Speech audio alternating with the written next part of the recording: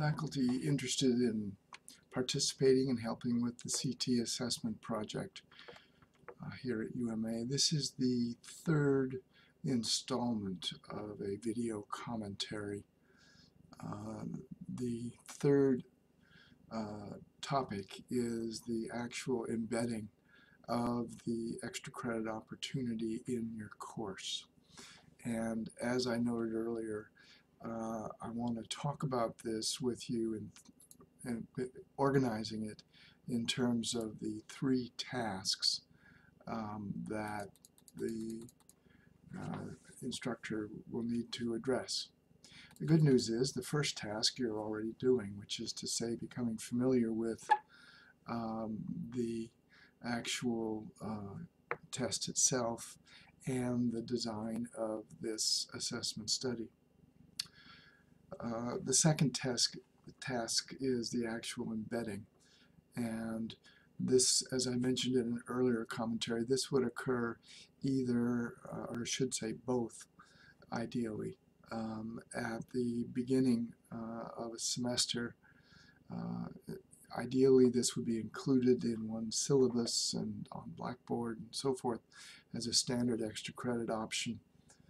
Um, in practice, we certainly are aware of the fact that time is short, and we've probably gotten this to you late as far as embedding it in your course for this semester.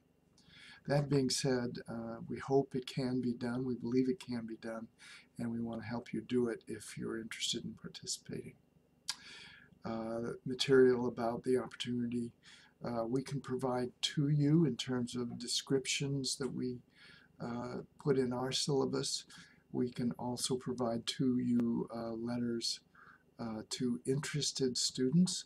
Uh, in my own course, I do include this uh, in Blackboard in the syllabus area as an extra credit option, and I certainly encourage students to partake of it as a way of uh, learning about critical thinking, but also experiencing what it's like to be in an actual research project um, as a subject.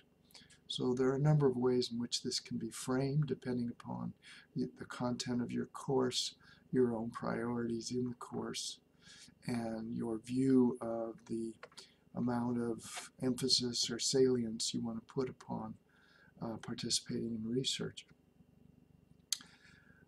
So uh, by all means, uh, feel free to uh, ask. Uh, matter of fact, you don't even have to ask.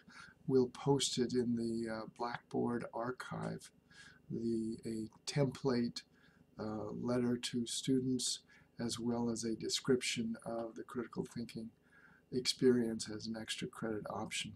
Hopefully you'll take a look at this.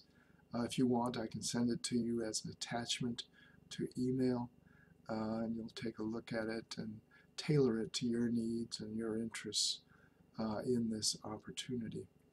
So that, that has to do with embedding at the beginning. I would, would suggest, certainly up to you, but I would suggest this might be worth uh, a bit of discussion as an extra credit option uh, should you be interacting with your students in real time. I know some of us in the spring will be teaching in class and others in an asynchronous mode. So uh, it can be discussed, as it were, orally with students in, in a variety of ways depending upon the uh, modality in which you're teaching this semester.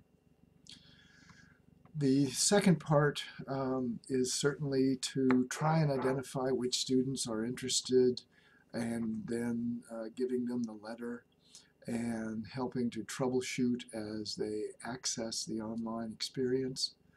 Uh, some faculty are going to do this, I understand, by taking a group of students to a computer lab and doing it in real time.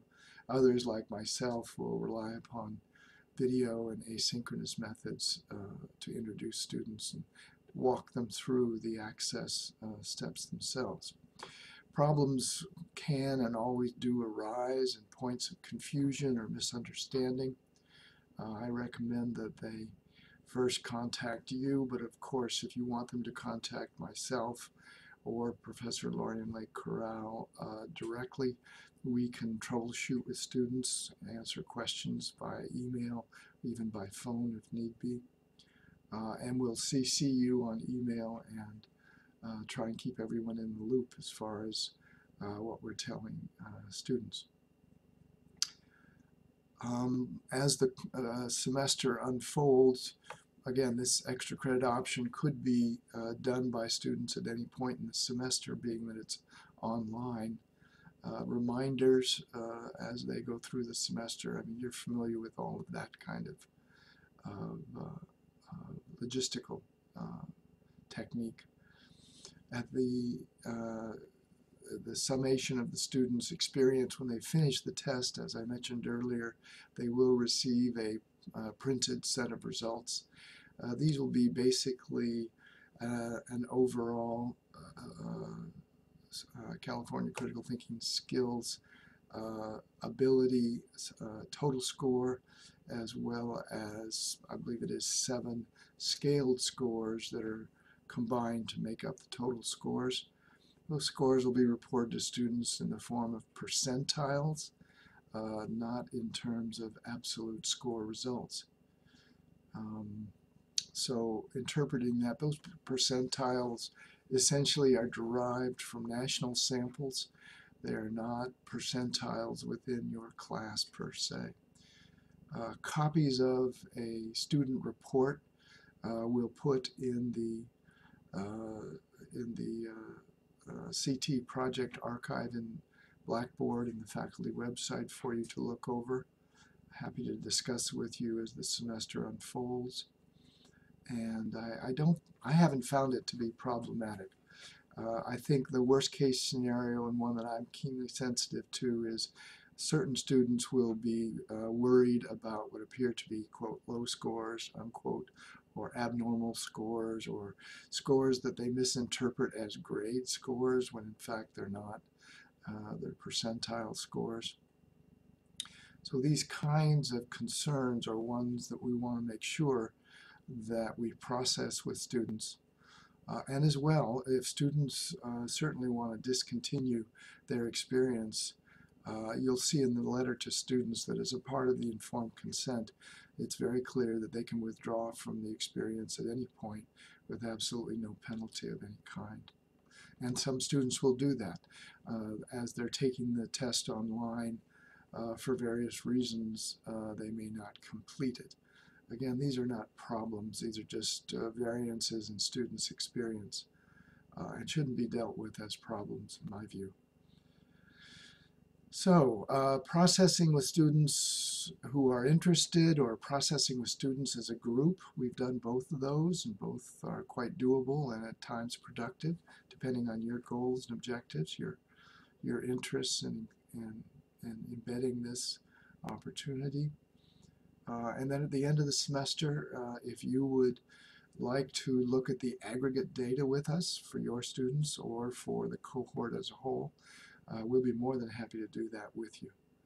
Uh, given that this is a formative and not a summative uh, study, it's exploratory really. Um, your thinking about it and response to either the individual student records or the aggregate data will be uh, more than welcome. It'll be appreciated.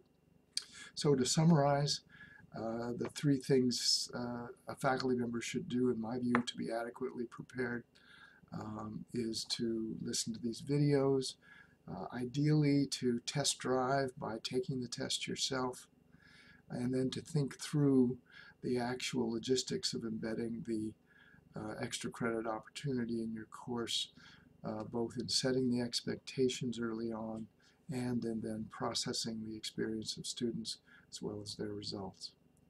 Hope that's helpful to you, um, and I'll conclude this uh, commentary at this point.